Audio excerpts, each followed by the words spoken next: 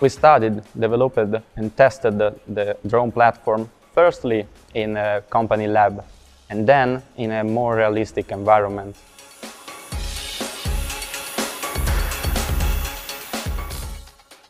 Reply is working on solution to use drones for warehouse indoor operations.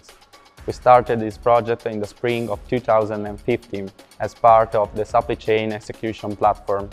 Our system combines computer vision and sensor fusion techniques to get the position of the drone without using GPS and barometer, which are useless for indoor operations.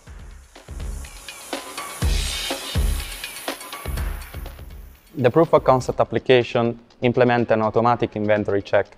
It controls the drone and makes it move to a set of locations.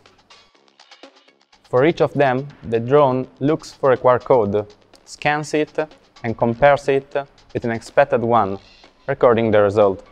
When all location has been checked, the drone returns to the initial position. We strongly believe that the proper use of drones can lead to many benefits, not only in a warehouse, but also in manufacture and retail location and context. We are working hard to make it possible.